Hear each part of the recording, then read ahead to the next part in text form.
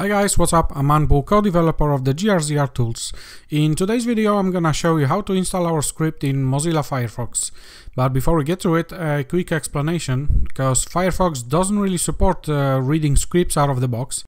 So in order to use our script, first we need to install on Firefox an extension called GreaseMonkey, and that is what I'm about to show you right now.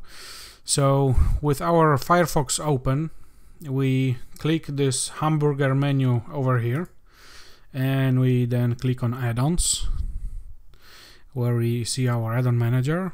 We go to uh, extensions. Here we have our search bar where we type in GreaseMonkey hit enter. The GreaseMonkey should be listed as the first one and we go install it Done, done, done. Restart Firefox, sure we do. Take some while. Alright, updates. Alright, our GreaseMonkey is installed. So, we can now proceed to installing our script. So, to do that, we navigate to our website, which is grcrt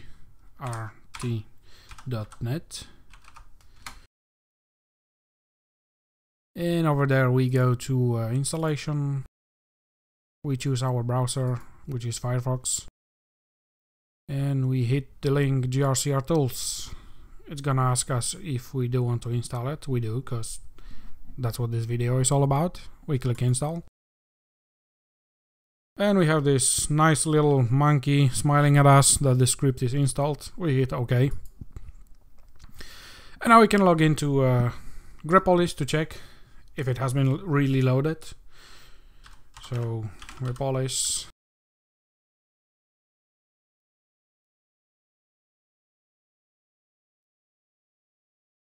We type in our login and the password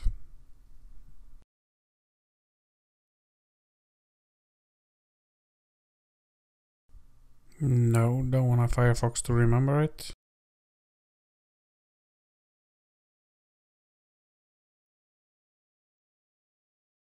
And guess what? Since we see our pink octopus over here, the script has been loaded and it's working.